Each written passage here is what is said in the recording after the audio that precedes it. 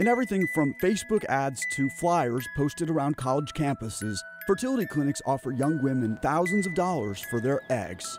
How much? Donors get five to ten thousand dollars per procedure, the amount approved by industry groups that set guidelines for 85% of American clinics.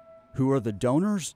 Young women, usually 20 to 30 years old, who pass genetic and psychological tests, and a number of other requirements, like having no tattoos or body piercings.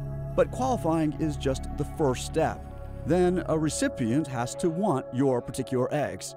After being selected, preparing for the donation takes weeks of hormone injections, which stimulate the ovaries and sync the menstrual cycles of donor and recipient. Meanwhile, donors can't drink, smoke, or have sex.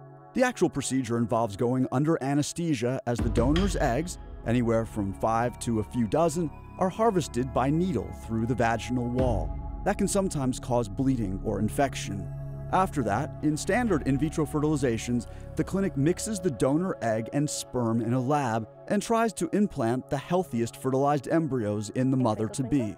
It typically costs the recipients between $12,000 and $20,000, meaning about half the money goes to the clinic, and it works about half the time. Meanwhile, the donor is free to continue donating.